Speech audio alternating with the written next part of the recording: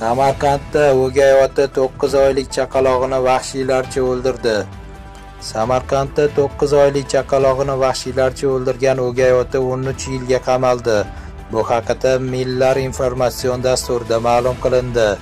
Qayd etilishicha, o'tgan yilning 18-oktyabr kuni erkakning ayoli ishga deb uydan chiqib ketib, 2 kun mobaynida qaytmagan.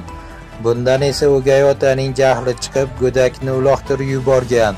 Va yana qayta belanchakka solib qo'ygan. Ekspertiza xulosasiga ko'ra bolakayning jonsiz tanasining ko'krak qafas chap sohasida qontalash joylar, bosh yumshoq to'qimasiga qon quyilishi, bosh miya pardalari osti to'qimasida qon quyilishi kabi jarohatlar aniqlangan.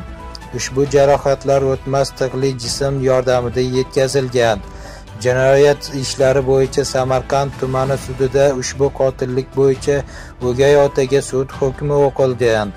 Unga ko'ra erkak Jinoyat kodeksining 97-moddasi 2-qismi B, J bandlarida nazarda tutilgan jinoyatlarni sodir etganlikda aybli deb topilib, unga nisbatan Jinoyat kodeksining 57-moddasini qo'llagan holda 13 yil muddatga ozodlikdan mahrum qilish jazosi tayinlangan.